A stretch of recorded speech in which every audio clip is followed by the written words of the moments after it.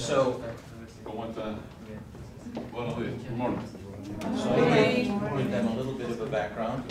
So I know because we're a little bit late, what I'd, what I'd like to do is, uh, if each of you could just briefly mention your first name. Um, Actually, I've got one of the students who's gonna handle briefly the introductions for us, and I'm gonna turn it over from moment to Andres. Very good. Buenos días, me llamo Karina Muñoz. Hi, my name is Javier Cordova. David Williams. My name is Mitch Tooth. Hi, my name is Mom Mitchell. Good morning, I'm Kiara Cook. Hola, mi nombre es Misael Carrero. Buenos días, me llamo Nancy Gonzalez. Mi nombre es Flores Dassen. Oh, ah, my name is Elizabeth Kate. Morning, my name is Renee Reed. Good morning, my name is Ashley Collins. ¿Cómo está? ¿Cómo ah. Hola. está? Sí, hola. Qué Ya bien. día aquí. Um, my name is Carol, I'm from the Philippines. And this is Dr. Cabañas, the head of, of the chief of the Cuban Interests Section to the United States. And his rank is ambassador. I'll turn it over. Well, uh, good morning, all of you. Let me put this over here. Uh, uh, Romney is a French uh, diplomat. Uh, He's uh, with us at the Interests Section. And just to start, because I will try to tell you something about Cuba that probably will provoke you to ask questions, which is usually the most interesting part of it, not to listen from me, but to interact with you. But uh, Romney has been researching on something, a link uh, about Robert Morris, the name of this institute, with Cuba, which is something very interesting. We just told the president, and we have to, we should look into that. Go ahead. Well, this is, I mean, it was very interesting, at least for us to, to know that there is a direct link between the name of this university and, and the history of Cuba itself. You should know that back in the 18th century, you know, Cuba was still a colony of Spain. However, there was a, you know, a sentiment of Cuban nationality that was going on already. And Spanish people and Cuban people just went together to support the independence of the 13 colonies, you know, which is a process that was certainly going on at the same time. And there was one guy called uh, Juan Miralles, which was, uh, which went to become basically with Robert Morris, who was the financial organizer of the war against uh, England. They both become the key to uh, a network of logistic support coming from Cuba to the independence of the 13 colonies. So even Washington himself, was of, of course the first president, uh, decided to honor, you know, when he died in, I mean, Juan Miralles died in 1780, decided to honor him with all, you know, the support of the uh, politicians at the time, the organizers of the war.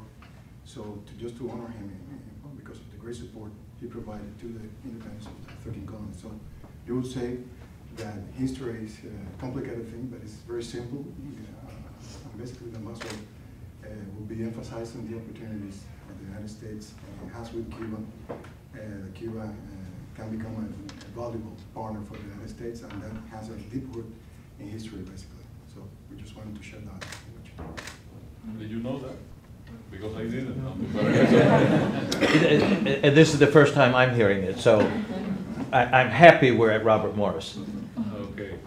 Well, uh, as I said, let me provoke you with some thoughts and uh, probably we can uh, have some exchange. Uh, In this uh, uh, institution, as I understand, uh, it prepares you for your future, like any university, basically devoted to, to business. I, I said that I like to come to universities because usually when I, I go back, I return younger, rather than older, I think I become young- younger. Uh, I try always to spend some time with uh, our students at the University in Cuba, our uh, Diplomacy Academy in Havana. Then uh, I regularly do this. Uh, uh, as an average, probably you know about Cuba, what we have been doing for 54 years, the kind of exchange we will have with Latin America and the Caribbean. I always try to rely on geography and then remember that more or less this is Florida, more or less this is Cuba. Jamaica is somewhere here. I just met a professor from Jamaica. Caribbean states, Dominican Republic, Haiti, closer to us. Here is Yucatan, Mexico. That's uh, where we are. Only that should explain something, that we share many things. We are close to each other. Spain colonized not only Cuba and some islands in the Caribbean, also colonized Florida and also colonized Mexico and basically Yucatan. For many years, Cubans moved freely all around here. And uh, when you thought about traveling to Florida or to Yucatan, we were not, we were not going abroad. We were just moving all around. That explains why you have that many Cubans all over. Usually, media and other sources relate Cuban immigration to the States to the fact that people left after the revolution, which is wrong. In, in January 1959, already you had 150,000 Cubans living in the States. At that time, we had a population of six, uh, six million people. And on top of that, you have a lot of Cubans coming here for work, for tourism, and they simply return. Then there were a lot more than that. Jose Marti, who is the, the Cuban national hero, spent most of his time in the United States preparing the war against Spain. Fidel Castro, the leader of our revolution, spent a big deal of time organizing people here to withdraw the Batista regime. Then our relation for many years has been fluent. We have had several exchanges. Universities, well before the revolution and after the revolution, uh, have had different kind of exchange. What happened in the, in 1959, 1959, it was a, a big change for our life. And I will invite you to research, sorry, to research a little bit to, uh, about to know what was Cuba before 1950, 1959. An economy basically addressed to the production of, of one commodity, which was sugarcane, nothing else, with a large perten- percentage of illiteracy, like many Latin American countries, sixty percent of the population, large unemployment, land uh, distributed in, in the foreign, uh, on the hands of, of foreign companies, and more than fifty percent of the farmers who live in the countryside, they didn't own the, the land they were working in. And I can go on with many other figures and many other explanations about what was Cuba before 1959. The changes in Cuba, in the way you can call it, Cuban Revolution, you have heard about socialism or communism coming to Cuba. Of course, we, what we were accomplishing there was a change, a dramatic change, the same change Martí was looking for many years, a hundred years ago, fighting in Spain. The, the, the same changes many others before Fidel Castro were looking for. First, to have our own sovereignty and try to implement a model that could respond to our needs in Cuba. Now, history is a tricky thing, and uh, many changes we introduce is the changes we wanted to, we considered that will match our need, and we were forced in other cases to do something that probably we didn't want to, but we were simply left with uh, one option. And I will urge you, when you study history, it's a very, you cannot build the future if you don't know about history at all. Your teachers will tell you that, your parents will tell you that. Uh, you have to interpret also any, any historical deed through different approaches. A, a historical fact doesn't have only one meaning, and the meaning uh, given to you by a book, by an author, and usually professors invite you to look in, in, in, in different ways. And just to tell you what happened right before this year, sorry, right after this year, just a couple of examples. In that year, on that year, we have in Cuba only six thousand physicians. Only six thousand physicians for a population of six million people. Due to the policy that the United States uh, applied to Cuba, uh, saying that any Cuban who could leave uh, the island would be very well welcome in the United States, we were left with only 3,000 physicians. Half of them emigrated to, to the United States. Then we had to implement a comprehensive program to graduate our own physicians uh, to respond to the needs of our people. Currently, we have in a population today of 11 million people, we have 100,000 physicians of the niche related to the, to the public sector. You will say, well, it's too much. Yes, it's too much. And that amount matches our needs, but currently Cuba is exporting health services to the Caribbean states, to South, uh, South America, Africa, and many other countries. Fidel Castro and the revolutionary movement, they probably didn't have in mind to nationalize that many industries in Cuba. But what happened then in history in 1960? Uh, United States took a couple of decisions that certainly put some energy on some changes that we didn't have in mind. One of them related to, to decision that to cut the supply of oil to Cuba. You know, we don't have, we haven't found yet. We are uh, trying to, to find oil in Cuba. But at that time, we didn't have even the, the infrastructure to look for oil around Cuba. The United States decided not to supply, as a response to the changes in Cuba, not to supply oil to Cuba.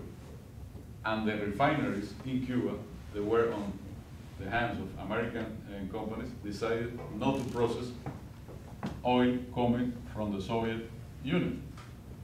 We were left with the only possibility of nationalizing the refine, refineries and to get back this, our sovereignty on those, uh, on those uh, facilities. And like that, it happens in many other sectors in, in our economy. In 1961, it happened something called in history, in Spanish, uh, La, La Victoria Playa Girón, in English, Bay of Pigs, which is, was an invasion to Cuba uh, organized by the CIA in Guatemala that landed in, the, in this area of Cuba, which is this military action, just as an example. We have many other in our history. And then 16, 1962, sorry, the so-called missile crisis, or in Spanish, la crisis de octubre, uh, la crisis de los misiles, that was related with a, a decision from Cuba after, not, not before, after Bay of Pigs, to install in Cuba several facilities, defensive facilities, because it, it was evident that uh, we couldn't wait only for, for the worst coming from the United States at that time. Because we took that decision to defend ourselves when the, the whole world was on the brink of, of, of a nuclear war. We were able to overcome that through peaceful meaning, and hopefully that experience uh, uh, teach a lot for everybody, how you have to deal when you have uh, international crisis. What I mean is basically that after 1959, our relationship with the United States uh, has been uh, has had different political cycles. That at what we are facing, and when, when I say we, is you in the United States and we in Cuba. That the situation we are facing now is based on decisions that were taken at that time, many, many years ago. Uh, it's only a reference for you reading in the books or your family telling you what happened. It, that is only a reference for your generation and even my generation. I'm older than you, but even for my generation, is is basically a reference. But the main pillars of the current policy towards Cuba were built at that time. And since that time, many things have changed in the world, in Cuba, the United States. At that time, the State Department uh, went with a policy to try to isolate Cuba from Latin America. And I have to say they accomplished that. At, some, at that time, we had relations in the area only with Mexico and Canada. The rest of the, of the country uh, broke relations uh, with Cuba.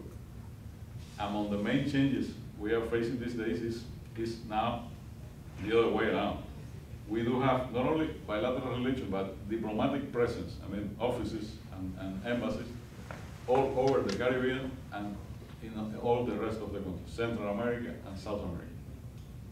And we have, we don't have bilateral relations with the United States, but we do have some diplomatic presence here, and the State Department has, because the Interests Section, technically, under the Swiss embassy, technically, I'm a Swiss consul, Ronnie is a Swiss uh, consular as well, because we are attached to the Swiss embassy. It's, a- it's a tricky thing in order to be able to open uh, the, the representation there. Those changes came in nineteen seventy-seven during uh, the Carter years, uh, Jimmy Carter years in, in power. Uh, most people associate this possibility only with Carter years, but as a matter of fact, we were debating uh, that possibility from well before, I mean, from uh, uh, Gerald Ford's years in, in power. But this is something that was accomplished during the Carter years, and during those days, I mean, was the vision of President Carter that we should have, have and sign, and we did it, bilateral uh, agreements on several areas. I think in some way the, the Carter's vision was considering that, again, we are neighbors. As someone, as someone put it here in the United States, we share the sea, we share the winds, and we share the, the, the movement of people coming back and forth. And we have to represent in some way the interest of our own people. Let's say from our side, well, a lot of Cubans who have relatives here, and a lot of uh, Cubans right here who have relatives back in Cuba then you can, I can tell you, from the diplomatic point of view, you can say, well, I don't want to have any relation with you. That's okay, from the political point of view. But from the consular part of it, if at some point in your life you are involved in diplomatic affairs, I will invite you to consider that. But from the consular point of view, you don't have bilateral relations, but you still have to represent the needs of those people who, are not political. I mean, if you need to have a passport, you have to have a consular officer there to take the information about you, to provide the, the documentation. If you have a son and you want to register a son as a Cuban citizen, well, you need to have a, a consular officer. And the same thing happens with the Americans in Cuba. They have the same need. The American community in Cuba is not that large, but still, there are some instances that have, have to be represented. I mean, in this life, it's not what you want to do, it's what you actually have to do. Because you are forced by the, the, the circumstances. Uh, and again, they, uh, the fundamental pillars of the policy, the, the current policy of the United States, are presided by a, a policy of blockade. It is called here embargo. Embargo is a very limited definition of, of it, and it, it, it uh, encompasses only bilateral measures taken against one, one country. We call it blockade because it's a more comprehensive policy that affects not only bilateral relations of Cuba with the United States, but the relation of Cuba with other countries.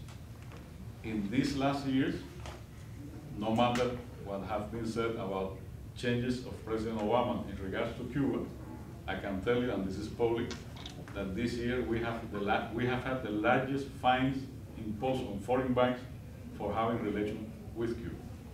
OFAC, which is the Office of Foreign Asset Control, uh, the- is related with the Treasury Department, I mean, it's part of the structure, and it's there to track and follow transactions that are dangerous for the United States, let's say money linked to Al Qaeda and terrorist groups. Well, regrettably, most of the, its budget and most of its personnel is related not to track those guys, is to track Cuban operations with the world. Hopefully, this is something that uh, would be changed at some point. Uh, During the Obama administration, at least a couple of uh, decisions were taken. They are positive. Probably they will lead to something else. One of them is uh, related with the possibility of Cuban Americans to travel freely to a. That's a, a positive development. That takes the amount up to four hundred thousand Cubans, Cuban Americans coming to the island every year. Then usually you have the image or the perception that between Cuba and Miami and Florida there is a wall, that nothing is happening there. Well, no. There is a, a huge exchange, people are coming and going. And uh, we have implemented in the last year, and probably we will have, we will take some questions regarding that, because not to have this introduction more, much longer. We, we introduced a, uh, a new migratory policy, then Cubans are free to travel anywhere they want, only having a passport. In the first eight months of this policy, more than hundred and eighty-seven thousand Cubans have traveled abroad, including the United States, and they go back to Cuba. The restrictions that were imposed before were imposed because of this. When we lost that many physicians and educated people, we have to uh, preserve the, the, the, the labor force we, we have in Cuba. We don't have to do it anymore. We, we are a right society, and we do believe that people can travel all over. As a consequence of that, I, have to tell you, instead of people leaving the country, you have people returning to the country. Cubans go, they see what is the world, and they love much more what they have at home, and then they return. That's it, what is happening these days. And the second uh, measure that uh, was implemented, uh, another one, that was implemented, contrary to what OFAC is doing, and this is very negative, but something that a development which is positive, is related to uh, uh, establishing what they are called people-to-people uh, programs, uh, starting in 2010, 11. Uh, that uh, OFAC provides for some categories of, of uh, projects to have people uh, going to Cuba under religious license, uh, research licenses, and some others. It's still a painful procedure, I mean, you have to fill a, a lot of forms, but at least that's a procedure that for universities, uh, is, creates a possibility of exchange, of bringing in students. Of course, we are inviting you, we are, we, we talked to the, to the president, it will be, a- in the past, from Chicago, we welcome uh, a lot of uh, groups in Cuba, and it's a possibility for you to, to talk with our students, to ask them what they think about that, to share experience with you. And it's also a, a way to build peace for the future.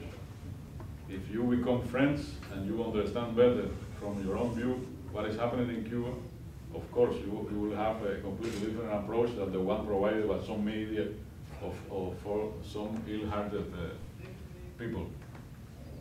Illinois and Chicago particularly benefited Uh, from a waiver here in Norfolk that was approved in the year 2000 that allows some companies to sell food and medicine to Cuba. Then, the blockade is a comprehensive policy. It, it- it has what we can call a a loophole, but it's a very limited one, because that possibility is provided only if we, I mean, Cuban companies pay in cash, in advance, without credit, with, without using our chips, and it's only a one-way trade. I mean, you cannot import from us.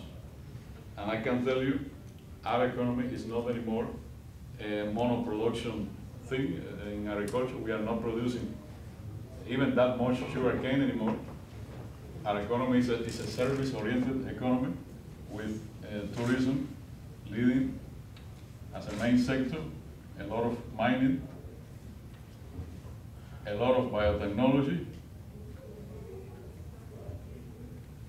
and uh, another sector that is coming uh, forward and will represent a large income to Cuba, which is computer sciences.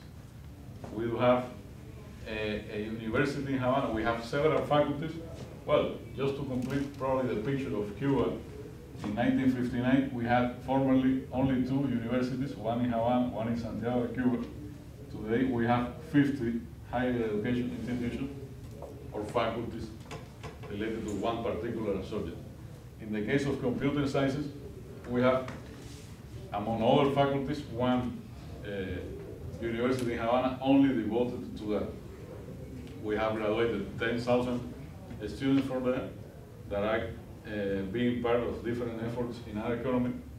And with a proper infrastructure, uh, we will, this is a sector that will develop a lot in Cuba in the years ahead. Probably you, you hear from time to time that our access to internet is limited, and some people link to that with political decisions. Cubans don't like people be knowledgeable about what happened in the world. It's exactly the opposite. But the same people don't tell you that our connectivity with the world is through satellites. Because we are not allowed, I mean, Cuba is here, and let's go back to the map. Cuba is surrounded by several networks of uh, uh, optic fiber that most of them hook here in Miami, hook in Fort Lauderdale, and hook in many other places. You have to be on those networks to connect to Europe and other places. Well, we are not allowed to do that. Why? The same policy approved here. We recently installed a, a fiber optic uh, cable, cable connected to Jamaica and Venezuela. We are starting to, to use that, hopefully, and that will provide us with uh, new opportunities, but that cable is connected with those networks. I mean, it's a business that is basically regulated from uh, United States. The introduction was long, I would have, to, I would love to have it shorter, but just to give you, give you a glimpse of uh, what we were, what we are doing bilateral relations. We are at the middle of a comprehensive process of, uh, some people call it reform. We call it updating of our model, correcting things we did wrong in the past, we learn how to do it now. Because believe me, to build a new society is a very complicated thing. We had very clear that what is, what Cuba was in 1959 was wrong. We had to build a new society, a more fair society. Regrettably, we were not able to do it peacefully because of everything I explained that happened all around us. We had to, to spend a lot of time, effort, and money trying to defend us, and then we were not focused on the on the main subjects. Well, the main subject was to survive precisely and to, to keep our country running, but a lot of efforts were left without that much attention to the economic field and the economic uh, opportunities. Now we are correcting that. We are having a lot of new uh, private and cooperative uh, companies established in Cuba, a comprehensive movement of labor force from government to those uh, companies now have a more compact uh, government, only for regulatory uh, issues, and many other things that probably would be of interest for you if you want to ask about that. Then, the floor is open. You are, you are the, you are the boss, you regulate. I'm, no, I'm not, yes, I like to think of myself that way, but they don't necessarily. But one, it has definitely been an honor and a pleasure. I do want to excuse one of my students because he has a midterm exam to take. Okay. So Mitch, if you, and the others, I'll ask you guys to sit for just a few minutes, and I will contact your professors and let them know we're running a little behind schedule. Um, but guys, you have, let me open the floor for a moment and see if there are any questions that you guys may have. Okay. Anyway, Good luck in your test. Oh, thank And let, um, Mr. Taylor know contact me. Yes. Thank you. Who are Cuba's main trade partners at the moment? We, we know you're buying on a cash basis from United States vendors, but who would be your major trade partners? Today are China, uh, Venezuela, Vietnam, in some way uh, uh, Spain, in some way Mexico. Um, basically, they are the, the main the main partner. Uh, in some way, we have to. We cannot say that we have United States in our list of partners because if you have trade being performed in one way, then the, the word partner is not correct to, to use it. But just to give you an idea, in 10 years, we spent here in the United States $5 billion, which gives you an idea of what, and, and then $5 billion in cash, in advance, without credit, not using our chips, and only one way. Just to give you an idea of what we could accomplish if those limits are, are lifted. You have the question? Or at least you raise your hand. Yeah, so you said that, um, you guys kind of regulated your, your energy sources and all that due to the model that we had in the US. Uh, I think we just passed a law that, um, they're gonna actually deregulate that, are you guys, is that something you guys are also working on? Well, we, we are looking in- into that with a different approach. Uh, We have, as you know, a lot of sun, which I miss here. I mean, it's the same sun and now we suffer the consequences more stronger in, in in Cuba. And we realize that we can make a use of that. In our way of doing things, the regulated is not what actually uh, put the synergy for people to look uh, better on that opportunity. What we have to do is to find a way, and we are doing that. We are investing, first, we are investing heavily state money to, to develop that sector. Not only uh, solar energy, but winds, uh, waves, anything that, that produce uh, biomass, anything that produce uh, energy. What we are doing, and for example, some cooperatives in the, in the country, I mean, in agriculture, they are not connected to the national system of, of power energy, but because they do have enough biomass to produce the, the, their own energy. What we are trying uh, to do is to have some uh, stimulus, you know, in, on budget for people that if they do work with alternative energy, then they have, for example, in this, in the tax system, they will have some benefits and, and then trying to, to, to accomplish that. In the field of energy, we are still drilling for oil from here.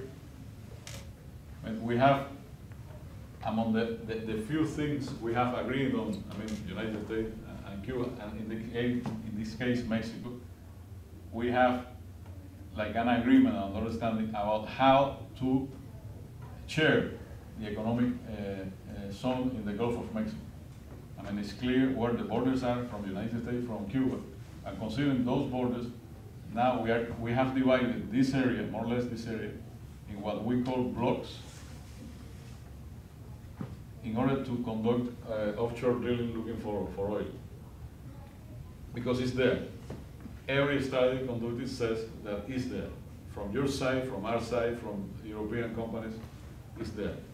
In, in the case of oil, you have to be quite precise in drilling in the right place because you drill ten meters to the right and, you don't find it, and, and, it's, it's still uh, there. For that, we have a lot of uh, companies from all over the world, uh, from Norway to China to Vietnam to Angola to Indonesia to Malaysia, from many countries coming here, spending a lot of money on their own risk in order to, uh, from Brazil, from Venezuela also, in order to find uh, oil there. This is definitely an opportunity that American companies are, are losing as well.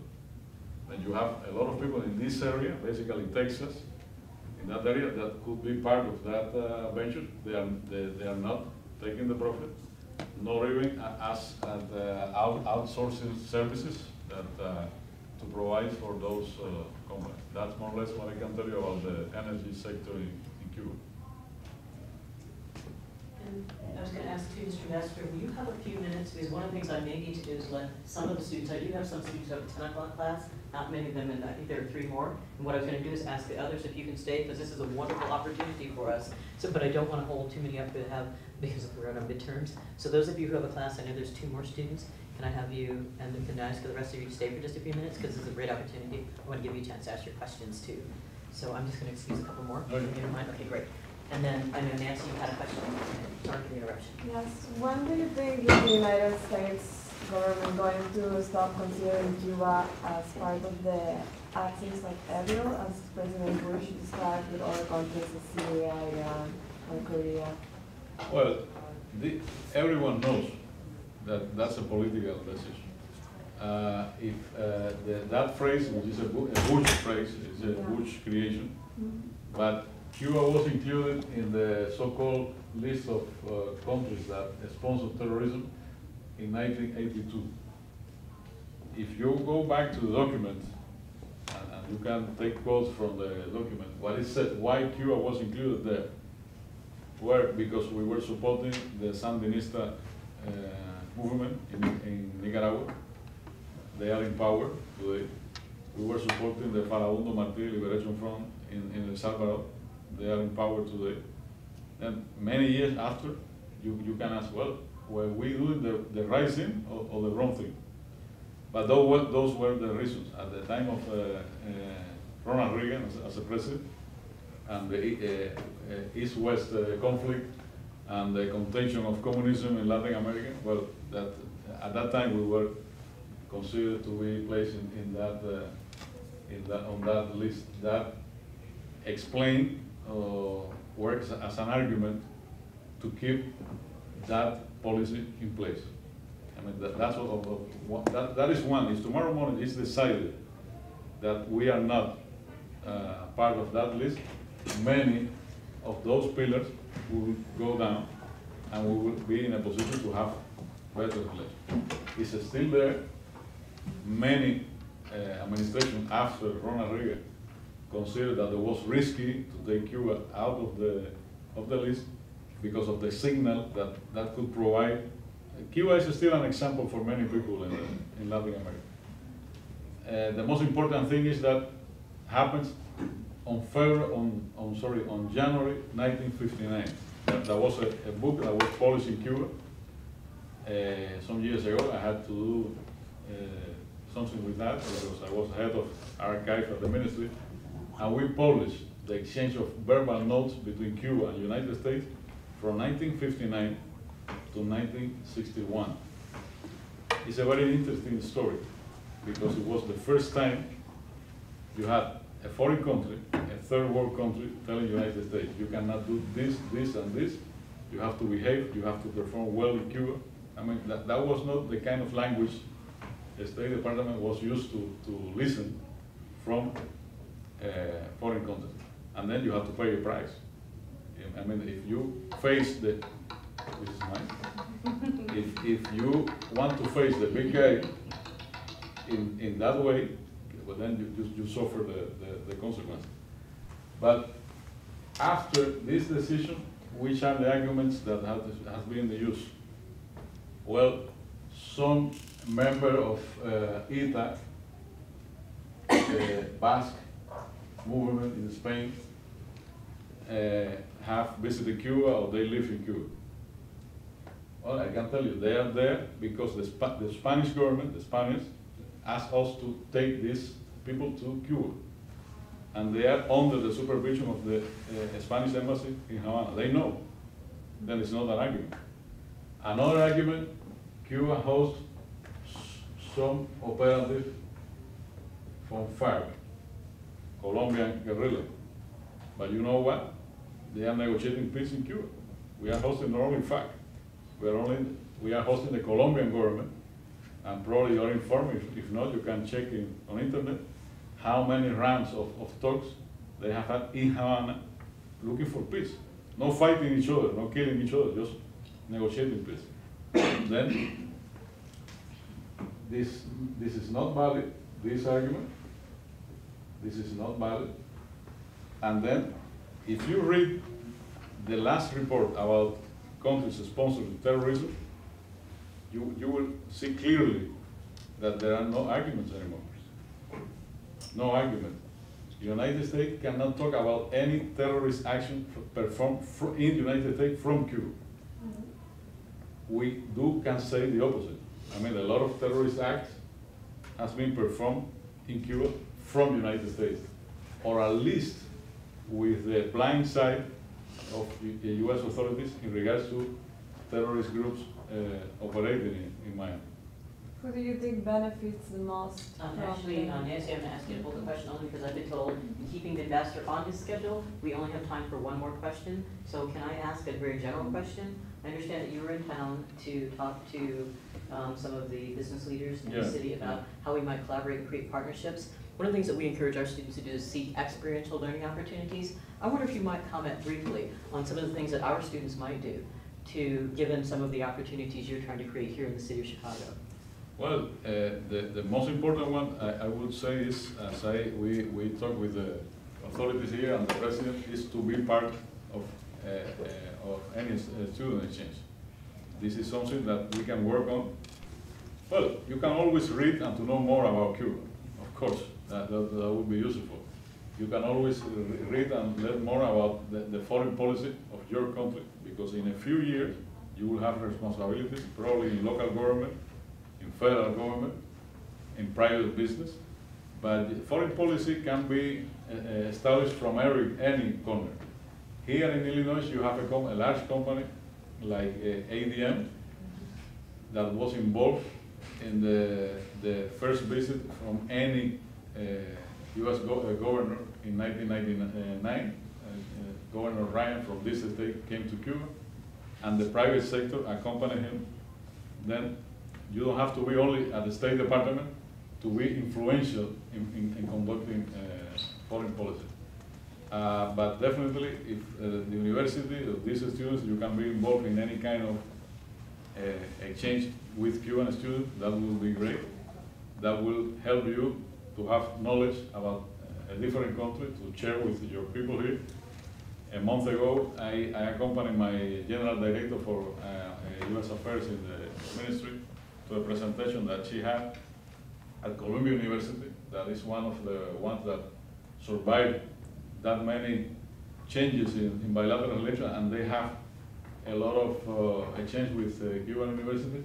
And when she finished, and people were clapping, there was a student at the end say, well, uh, in a month, we are, we are going as students, we, we have a list here, how many of you they would like to go, because they do have a license. I mean, you have to have a license to do that with uh, OFAC, but uh, the students were actually leading the, the efforts. Those would be my, my comments. So those are opportunities for our students. Well, Ray, I've been told that you were on a tight schedule, and I was informed that I need to wrap. Can I ask my students to join me in thanking you very much? This has been an honor and a pleasure. Thank you.